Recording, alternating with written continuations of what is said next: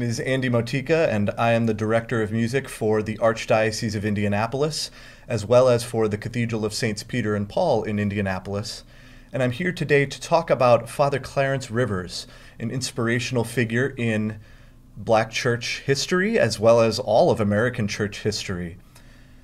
Father Rivers was born in Selma, Alabama in 1931, and when he was about 10 years old, he and his family moved to Cincinnati Shortly after that, the whole family converted to Catholicism. And at some point in high school, now Father Rivers felt the call to the priesthood. He was ordained at the age of 32, and he was the first black Catholic ordained in the Archdiocese of Cincinnati.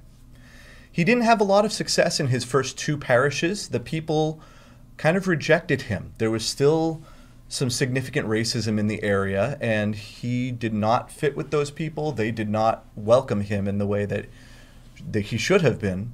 In his third parish, however, his pastor, because he was the associate pastor, Father Rivers was encouraged to start to use his other talents to inculturate, incorporate black culture into uh, the parish life. He did this by using his musicianship, which is particularly inspirational to me. Father Rivers started to write what he called an American Mass program. An American Mass program was both a collection of music and a recording that was released in 1963. And it was a collection of music that blended together the style of black spirituals with Gregorian chant, which seems like a strange mesh, but he did it fantastically. You have to remember that this was a time of pretty significant liturgical upheaval in the United States.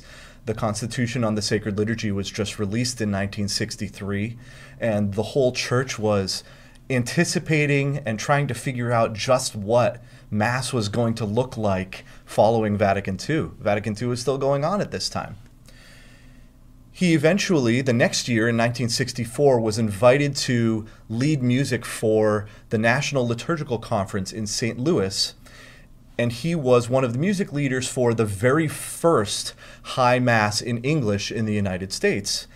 And for communion for that Mass, they sang his newly composed piece, God is Love, which became a national sensation of liturgical music throughout the decades following, Father Rivers became a liturgist, a composer, uh, a speaker, a thinker, a leader in both liturgy and in music across the country, and a very well respected uh, figure when it came to the new Mass and especially enculturation in the new Mass.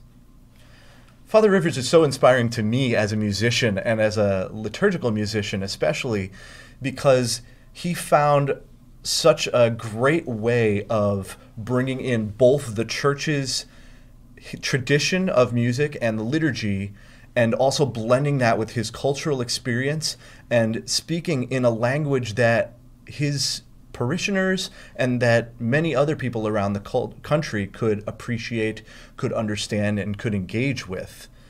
The other thing I like about him, especially compared to composers at his time, is that so much of his work is biblical there are a lot of composers from that time that were writing in a more contemporary style or trying to write for the new mass that did not do as good a job at incorporating scripture into their works. Father Clarence Rivers had a great ear for scripture, a great knowledge of scripture, and incorporated that into his works in a fantastic way, and really was a trailblazer there for in all composers to move forward with the new Mass and to incorporate both the traditions of the Catholic Church with his local culture. And for that reason, I am grateful for his work.